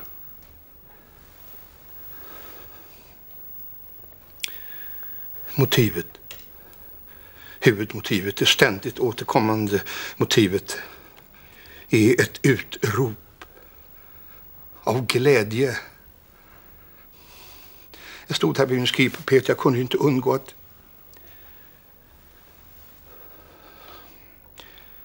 Jag kunde inte undgå att i varje ögonblick känna i min kropp, i mitt kött, i mitt kön, i mina nerver, i mitt hjärta, i, mitt hjärtas förskräckta skenande hur sjukdomen molade och grävde. De vedvärdiga medikamenten förgiftade mina nerver. Varje minut. Jag var i helvetet. Men Gud skänkte mig det här glädjeropet, det här ropet som är så kort. Och det lindrade, gjorde smärtan oviktig, sjukdomen betydelselös och medicinens raseri till avlägsna ekon. Jag tänkte att min avsikt var att jag, jag trodde att att andra människor som plågas av sin förödmjukelses helvete som jag plågas. Jag tänkte att jag att jag vill ropa till dem liksom till mig själv. Jag ropar så länge och så ofta att smärtan blir overklig och sjukdomen en fantom. Ja, ja, ja, ja. Den stora formen har aldrig varit din form, Schubert. Du är ingen Beethoven. Du är Frans Schubert, det är bra som det är. Med vilka omarbetningar börjar jag gripa mig an? Jag kan bara ge dig ett enda råd. Jag förstår. Nej, be inte om förlåtelse, broder Jakobi. Du har gjort din vän den största av alla tjänster. Nu måste jag gå. Du har sagt sanningen. Jag måste gå nu. Jag har mässa klockan tre. Farväl, min vän. Farväl.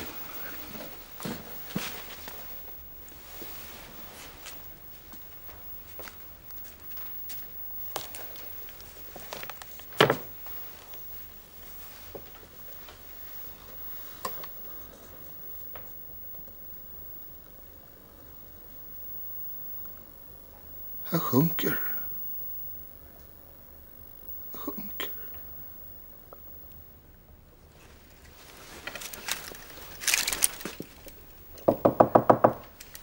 Stig in för all del.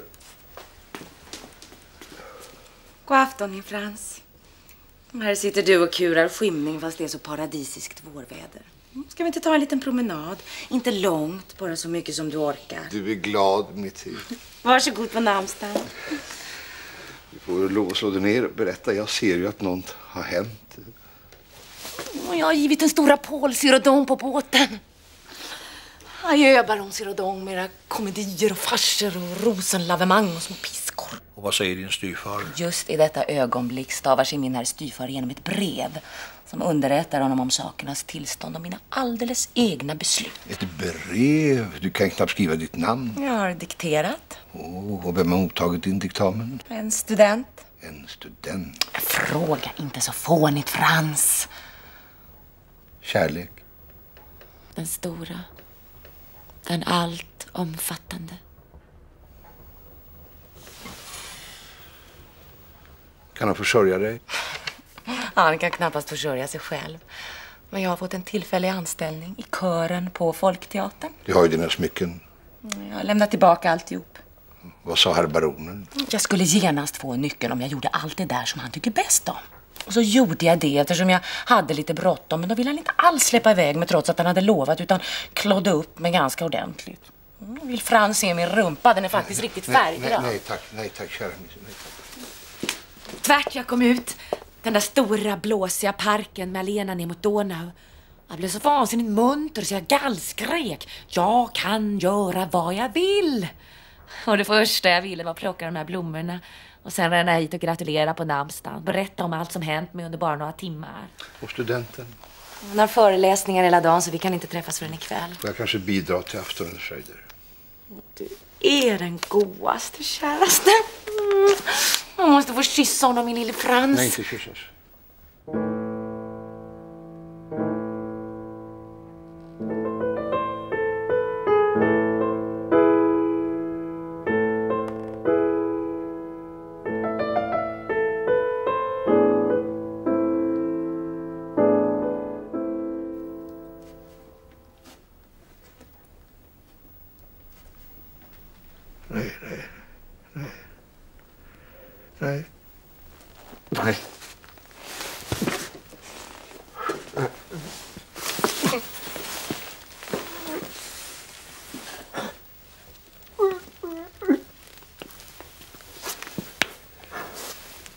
Ta dig samman, Karl.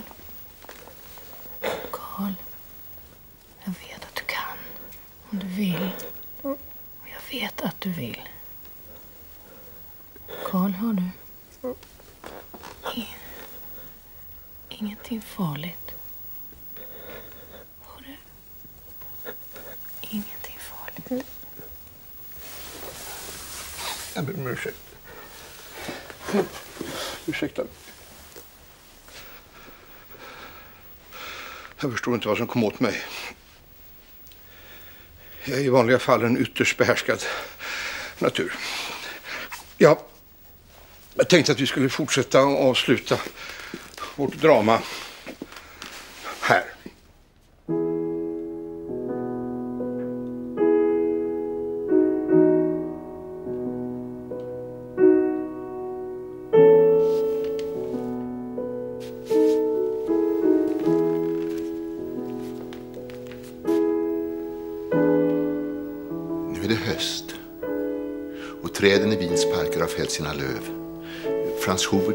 sjuk och lever på allmosor från brodern Ferdinand.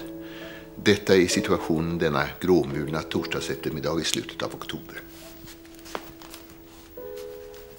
Vi erinrar oss säkert begynnelsen av vår biografförevisning. Nu är vi där igen. Samma bilder, samma misär, samma ord. Schubert säger alltså Du kom i alla fall, min älskade Mitzi.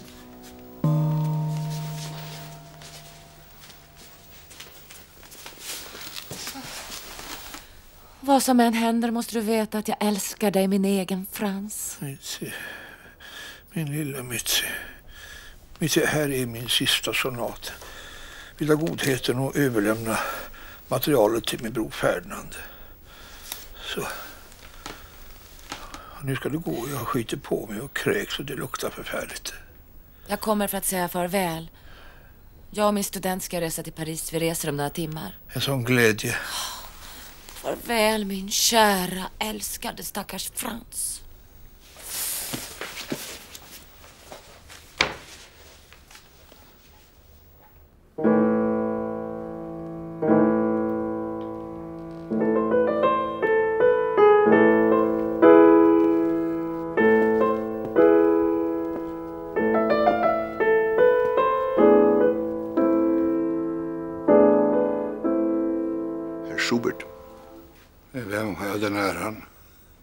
Marcel Fait, med er tillåtelse. Lilla Mitzis styvfar. Fasansfullt. Det finns ingen gud. Min styvdotter. Jag är döende. Visa mitt förödmjukande tillstånd, den respekten att herr greven talar uppriktigt. Mitzi, mitt stackars barn, min lilla flicka, har tagit sitt liv.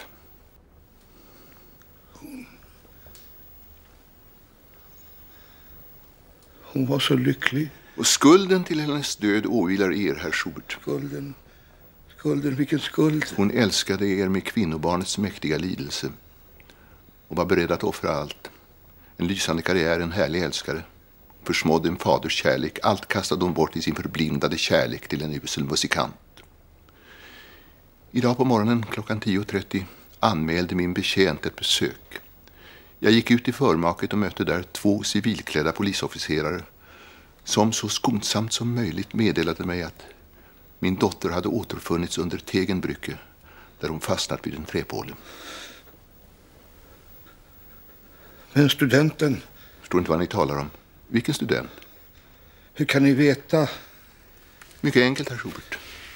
Och skräckinjagande påtagligt. Min dotter förde en kombinerad dagbok och kassabok. Varsågod. Tag och läs. Läs och betänk. Och låt skammens rodnad flamma på era av utsvävningar härjade kinder. Om jag inte visste att ni inom kort kommer att dö den fasansfulla död som straffar rucklaren så skulle jag mana er till duell. Men jag vill inte förkorta era lidanden. En straffande gud håller sin hand över ert huvud, herr musikant. Hämnden är min, säger Herran. Ursäkta. Ursäkta mig. Utanför den där dörren väntar några hövliga herrar.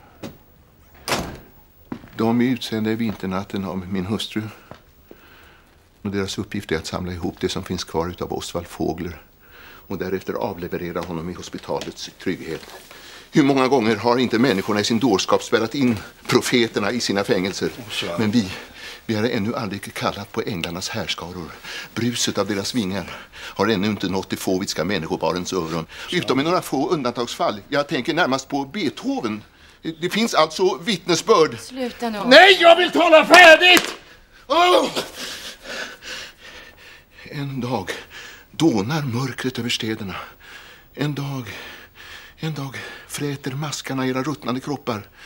Era inälvor ska tränga ut genom de skamliga öppningarna, genom de som finns och de som den stora drakens änglar sliter fram ur tarmarna på er. Jag, jag, jag fryser, kan inte jag få min överrock? Herr Fågler? Nej, det finns inget försvar! Herr Fågler talar om fel dag. Talar jag om fel dag? Ja, Alldeles fel. Med mitt raseri? Vad ska jag göra med mitt rättmätiga raseri? Stackars, stackars. Här är herr professorns hatt och ytterrock.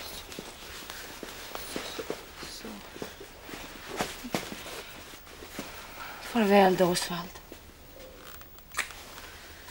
Var är galoscherna? De glömde vi i Avesta.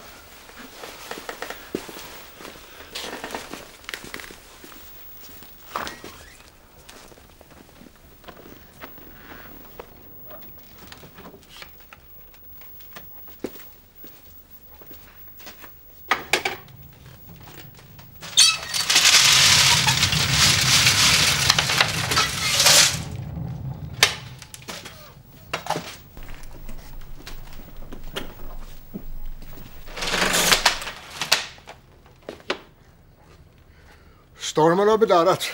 Ja, hur är det? Är det slut på skådespelet? Vadå?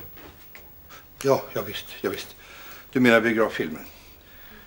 Biograffilmen är praktiskt taget slut. Den är redan slut. Men är det något kvar?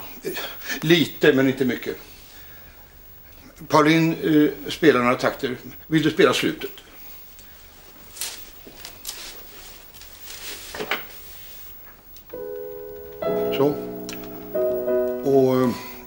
Så en stor närbild på den döende mästaren som ser rakt mot åskådarna. Ungefär så här. Och så får man lov att tänka sig att det usla, illaluktande rummet fylls av ett gåtfullt ljus. Han hör de underbara tonerna, ler han, trots att han är så trött. Och så säger han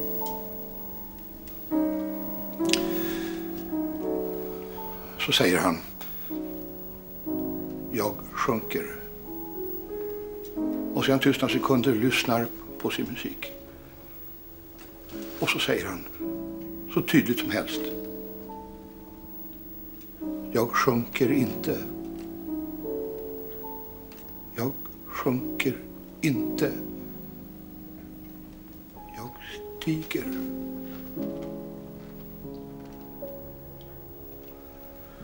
Och så blir det mörkt i bilden och så, så slutar musiken.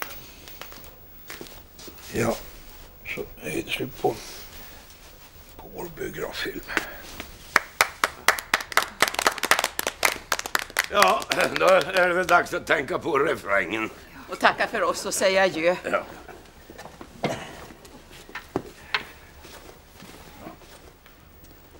Godnatt och tack så mycket. Ja, jag nickar till ett tag, ja, men jag är igång i lagom från halv sex på morgonen så då blir jag lite kvällstrött. Men det var så... Ja, tack så mycket. Och godnatt. Jo, jag hjälper till imorgon, ja. ja. Det är bara att telefonera. Grånäs 12 var numret. Godnatt, fröken Tibor. Godnatt. Jag kommer och hjälper till imorgon bitti för halv åtta med packningen. Och sen har jag ju skolans. Jag vill gärna ge fröken Tibor den här boken. Inte så fräsch i både understrykningar och hundöron.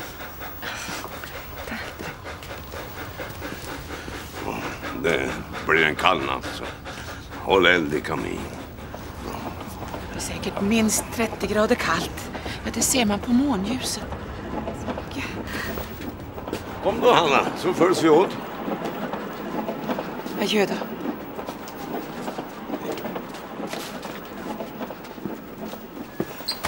Vi monterar väl ner projektorn imorgon bitti då.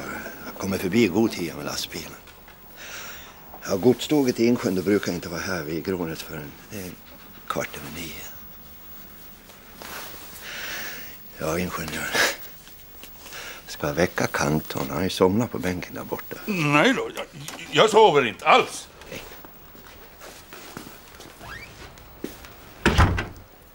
Tack för den vackra musiken, fröken. Ja, personligen tolkar jag Schubert-sonaten annorlunda. Eh, Ja, detta är icke sagt som kritik. Det var vackert i alla fall. Fast något för kvinnligt för min smak. Men absolut vackert. Tack. Adjö tack. Adjö tack. Tack. Vänta ett ögonblick, Blommen, så får vi sällskap. Vi ska ju åt samma håll. Ta på dig öronlapparna.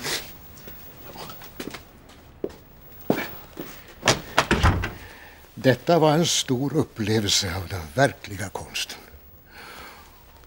Och förlåt att jag säger det, men eh, teatern var allt större än biografen. Tack än en gång. Adjö.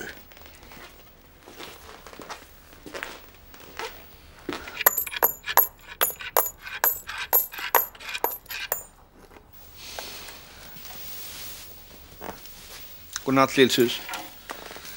Och tack för att du kom. Tack själv. Och tack för en så fin kväll. Mm. Mm. Jag har en hälsning från mamsen till er båda. Alltså minsann. Något obehagligt förstås. Var inte så stöddig, Åkerblom. Jag just räknar vår recept för kvällen och den slutar på 8 kronor och 80 öre. Ja, det är väl inte så tokigt.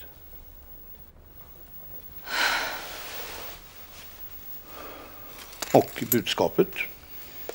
Ja, vore det så att fröken Thibault och Karl vill komma och bo hos oss över natten så är de hjärtligt välkomna. Så älskvärt snällt av fru Åkerblom. En sån triumf unnar jag inte den satans kvinnan. Det kan du hälsa henne. Ja, det kan jag alltså inte hälsa henne. Och imorgon bitti så transporteras dåren till hospitalet. Ledsagad av Gustav Adolf. Tack så mycket. Gustav Adolf är i Florens med nya frun, det vet ju mycket väl. Mamma och jag och gamla fröken Nilsson och mina små pojkar hela besättningen i sommarhuset. Har du pojkarna med dig? Mm. Kom och trolla, Kalle. Ja? Du vet ju hur roligt det brukar bli. Som förra vintern. Då skulle man... Vad säger Pauline? Jag säger ingenting. Så slipper jag bråk.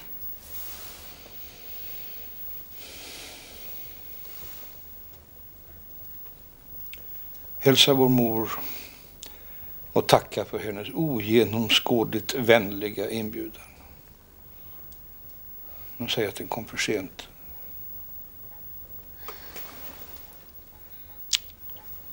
Adjö, Karl.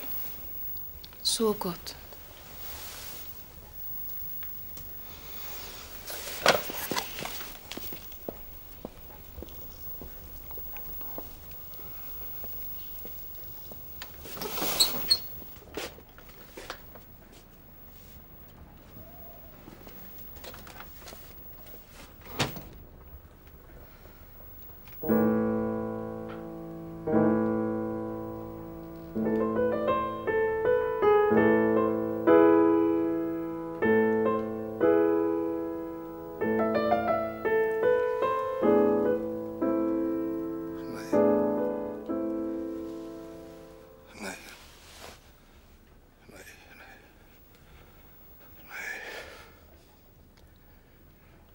Pauline, sover du?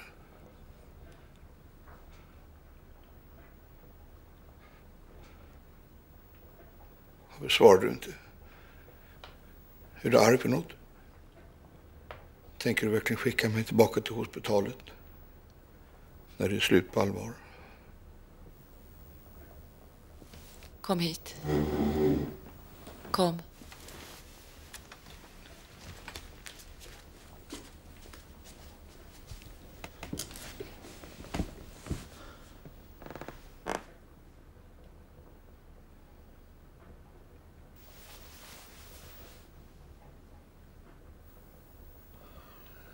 Du tänker lämna mig.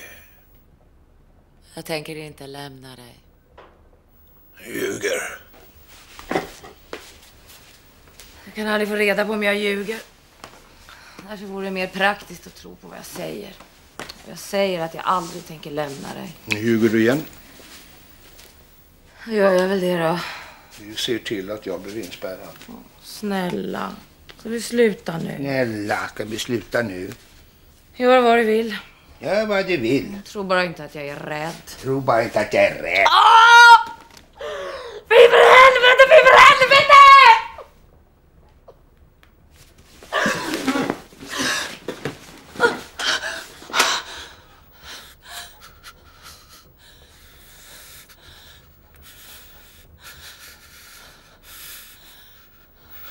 Se på mig.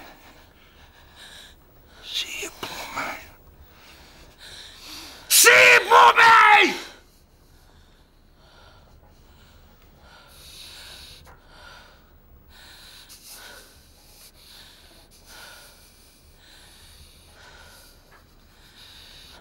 Ska jag dö nu?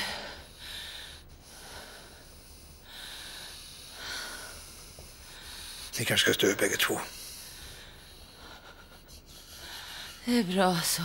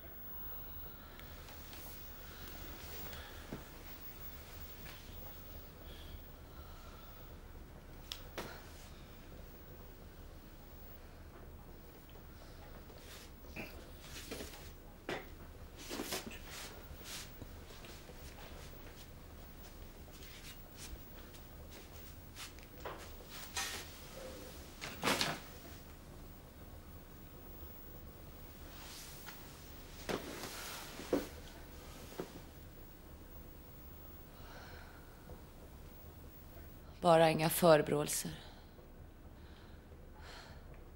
Inga självförebråelser heller för den delen. Nej. Jag vill påstå att min styrmor är en ytterst älskvärd dam. Du brukar säga det. Min lilla syster Karin hade nog väckt sina pojkar. Och de hade kommit sömndruckna från barnkammaren. Och genast frågat om jag skulle trolla.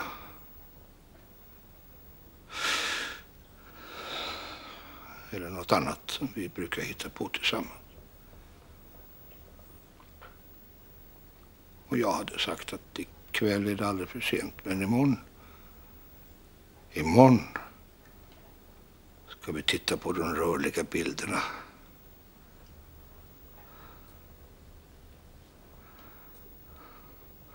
Och så hade vi slagit oss ner under gula mässingslampan i matsalen. Pojkarna hade också varit med. Ja. Och vi hade druckit styrmors fläderbrännvin. Serverat oss inlagd sill, gubbröra, leverpastej och gurka och kalla köttbullar och kokt skinka och förlorade ägg. Och det bästa av allt, fröken Nilssons viltpaté.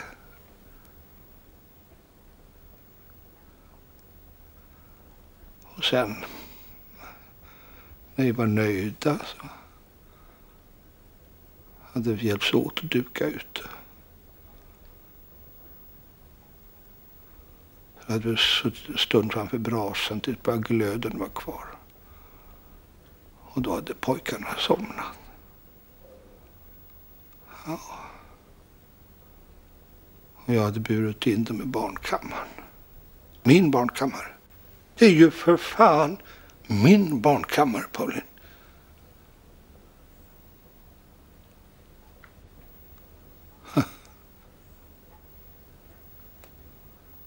Och så har du suttit en stund till framför brasan. Nej, nej, nej. Nej, först hade styrmor tagit dem handleden och sagt att hon är tacksam för att du tagit ansvar för mig.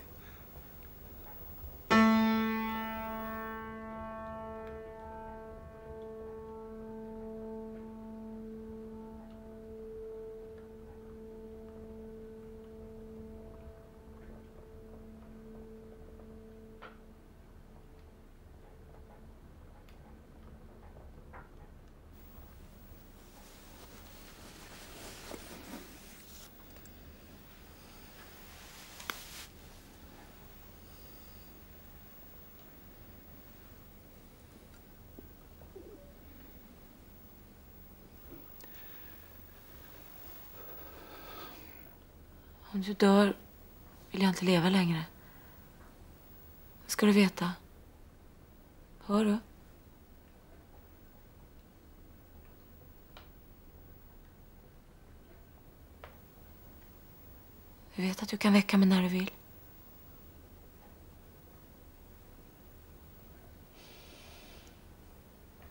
Jag är förresten redan här. Vem är här? Lyssna så hör du.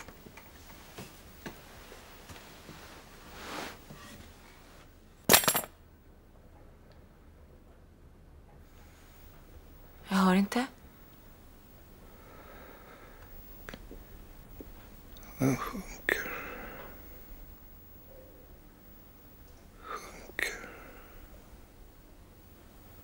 Jag gör.